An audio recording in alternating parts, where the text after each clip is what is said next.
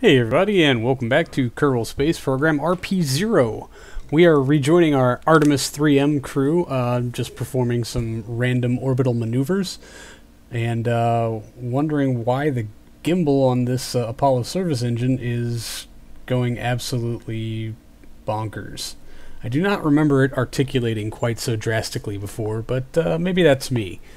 But um, since we lacked the crew cabin or the uh, crew capsule doohickey for which to test the uh, longevity of the life support and the power drain and everything else, we just uh, kind of put the capsule through its paces. Uh, it does have a different thruster layout than the uh, moon rated variant, and certainly the uh, low Earth orbital rated variant. So we just uh, kind of put it through its paces, maneuvered around, got a little closer to that J2 stage, gave everybody the epilepsy with the uh, fast forward. Um, but yeah, they waited out there 10 days. Um, the counter on that contract was not moving. Neither was the counter on the 90 day contract, although this is all new me commentary, and I've already forgotten if old me brings it up later on. I'm pretty sure I do, though. But uh, so there's the conflict there is that uh, while we successfully executed this contract to the letter, we were not rewarded for it. Um, but we waited out our 10 days. We were within the required orbital parameters. We put the capsule through its paces and tested a bunch of things out power draw, life support system to the best that we could, and found everything to be satisfactory other than the way that gimbal looks when it's moving around. I'm not quite sure about that, but I don't know if there's anything else we can do. So we went ahead and plotted our uh, deorbit maneuver, warped around to the nighttime side so that we could hopefully re-enter during the day and splash down in a friendly ocean. And uh, that was the gist of this mission. So now I will turn you back over to old me for the rest of the running commentary.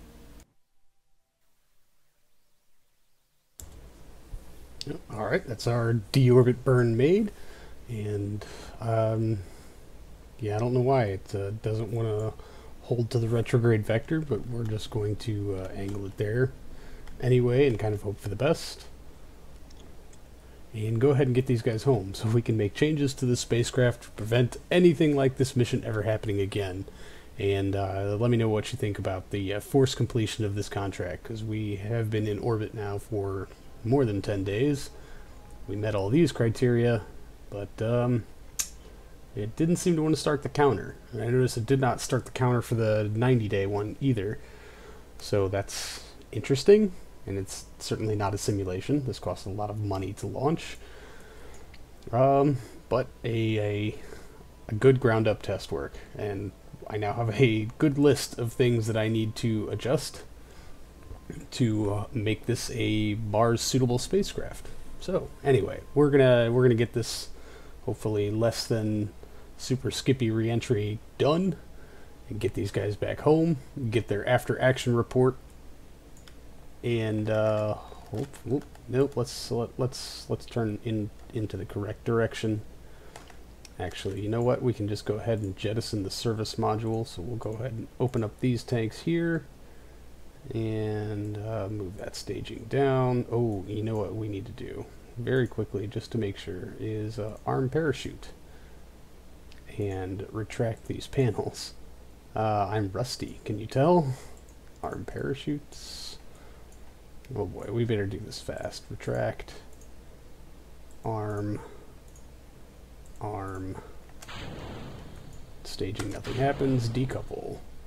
And away floats our service module. Now if we could just go ahead and get pointed into a retrograde-like direction,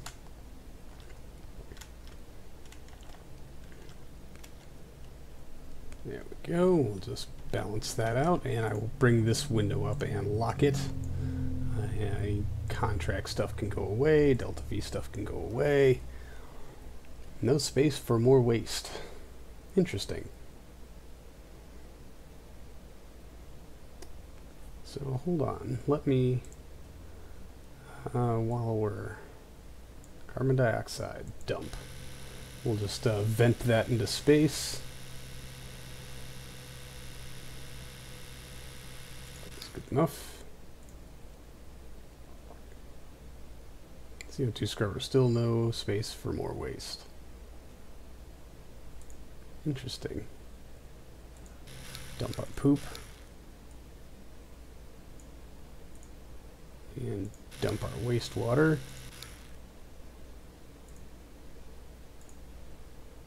Scrubber is running. Okay, that's interesting. Very interesting indeed. What's our electric charge look like? Oh, we got plenty. A drain of 1.93 and uh, lots and lots of battery power to get us through. All right, let's adjust this angle just a bit, shall we? We're coming in a little shallow uh, per my tastes, but I know that when this is coming back from Mars, it's going to be coming back from Mars. So it, it will be coming in very hot. And hopefully we'll get a nice view of our service module uh, exploding into the upper atmosphere. That's always fun.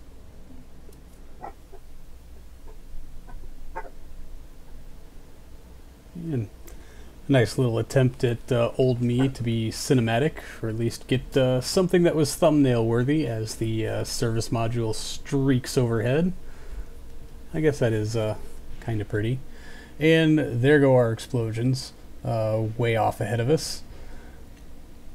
And uh, for the really the first time in this entire mission, everything started going fairly well. The explosions are far enough away not to be scary.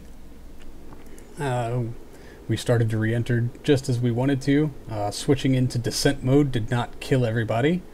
And uh, we were actually coming in low and hot enough that uh, we did not have to make a second pass. not be getting another one of my super skippy re-entry awards this time. I may have actually uh, figured out how to do this stuff, air quotes, correctly. Although I'm pretty sure you're not supposed to jump into descent mode once you're already in the middle of being embroiled in hot plasma. But we'll pop out of descent mode and just let the capsule ease itself all the way down. I don't bother to lock the fuel because uh, every little bit that we get rid of uh, helps us come in for a nice cushy landing. There's our drogue chutes in their pre-deployment stage, uh, helping ease some of that speed. There go the primaries, and then the drogue chutes will hit full deploy. The primaries won't until about one kilometer up, coming up right about now. There we go. And uh, that was almost thumbnail worthy, if not copyright infringement. But it was a nice, easy, smooth ride back home, unlike the launch. And so, you know what? I'll take it.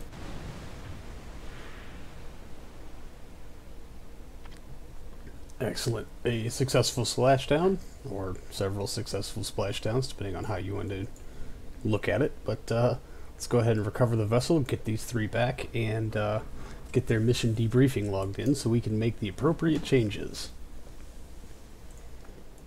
Alright, well, here we are in the VAB with the uh, Artemis 3M-1. And very first thing we're going to do is tuck these engines into something somewhat appropriate and then switch them out promptly. Uh, they are the J2s. I would like to be using the HG3s. Very much so. So we will just uh, remove all of them. Alright, and let's go find our HG3 series. Yep, here we go.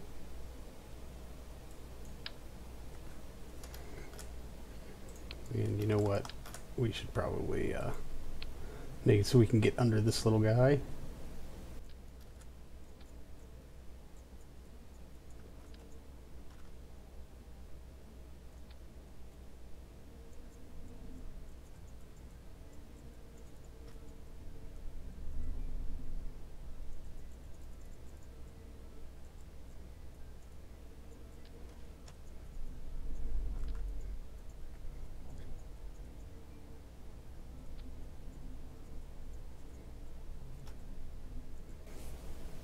All right.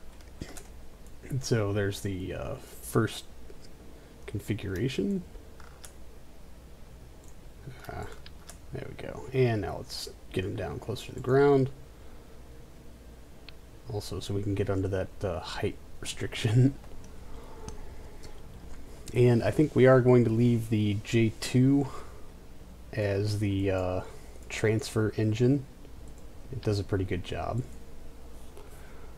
And I do worry about needing the three ignitions. Um, other thing we are going to do is, wow, that just looks unsettling, doesn't it?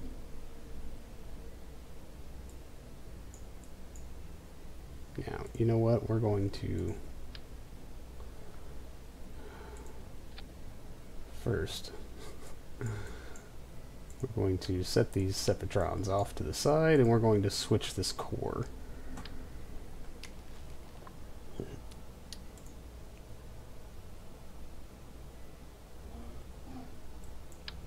Saturn instrument unit. Bada bing.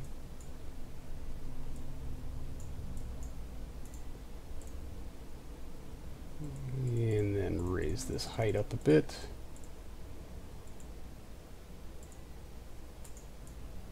There, that looks good.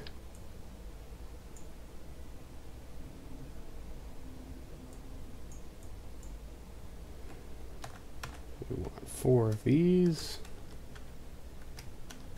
And we want them angled about like that. Maybe that looks very off. Dang it.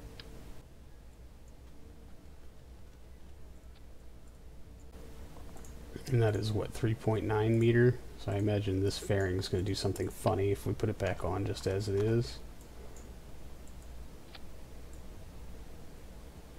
Yeah, that ain't, yeah, that's weird. That's really weird. No, we're going to leave you on. And we're going to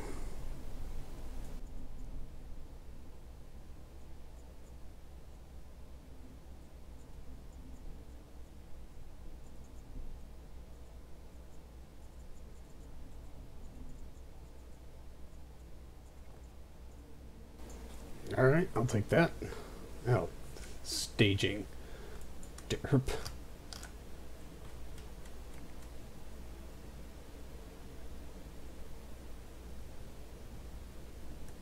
And where did all of our HG3s go? There they are. There's two. Put you down here. There's the outside two. We'll put you down here. And there's the center one. Good. Alright, so we go um, engine ignition, tower sep, booster sep.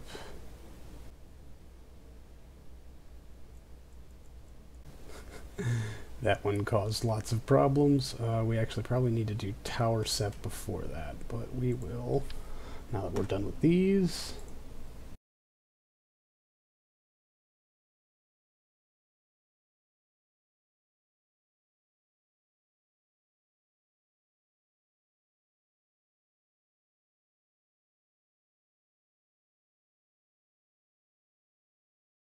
And from there it's pretty much automated. And we should be good to go. So total life support 233 days. That should be well more than enough to get us to Mars provided we don't uh, blow up our hab module again. And we've got comms and all the docking stuff should be good. We tested that uh, with our lunar lunar program. Uh, all the docking ports are configured and firing appropriately. Comms equipment works. The only thing we didn't really test was the HAB, but that's should be pretty self-explanatory. Although I should probably take a look at it just to make sure. Yeah, and that's uh, containers for waste. Those are jettisonable when they uh, uh, get filled up, although we could just vent that stuff into space, really. And the heat shield for braking, we'll need that. Yeah, extra fuel, food, water, oxygen, food, water, oxygen. And the, the two habitats. Uh, the only thing that really kind of irked me was the placement of this engine uh, we're just going to slide that down a little bit. There we go. Kind of clean up the lines. It does look uh, a little bit better. But uh, power generation checks out, life support checks out. I think we're good. I think we're going to go ahead and build one of these 150,000 credit monsters. Uh, just as soon as I adjust the fairings because I am a little retentive about these things. Alright, bink, dunk, ta-da, extra height. Ah, I love it when it just doesn't need to be adjusted. It just fits. It's perfect.